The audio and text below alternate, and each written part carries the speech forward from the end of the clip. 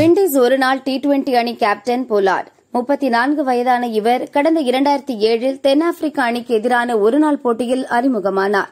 இதுவரை நூற்று இருபத்தி மூன்று ஒருநாள் நூற்று ஒன்று டி டுவெண்டி போட்டிகளில் பங்கேற்றார். டெஸ்டில் விளையாடியது இல்லை.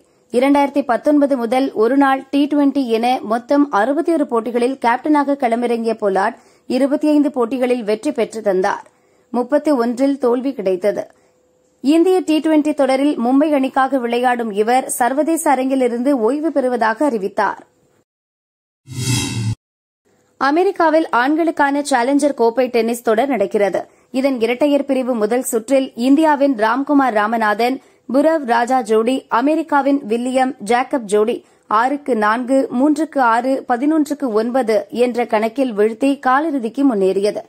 மற்றொரு முதல் சுற்றில் இந்தியாவின் யூகி பாம்ரி சாஹேத் மைனேனி ஜோடி அமெரிக்காவின் டென்னிஸ் டென்மார்க்கின் மைக்கேல் ஜோடியை நான்குக்கு ஆறு ஆறுக்கு மூன்று பத்துக்கு ஆறு என்ற கணக்கில் வென்று காலிறுதிக்குள் நுழைந்தது. மும்பை பிரபோன் மைதானத்தில் நடந்த டி டுவெண்டி கிரிக்கெட் லீக் போட்டியில் டெல்லி பஞ்சாப் அணிகள் மோதின. முதலில் களமிறங்கிய பஞ்சாப் அணி இருபது ஓவரில் நூற்று பதினைந்து ரன்னுக்கு ஆல் அவுட் ஆனது.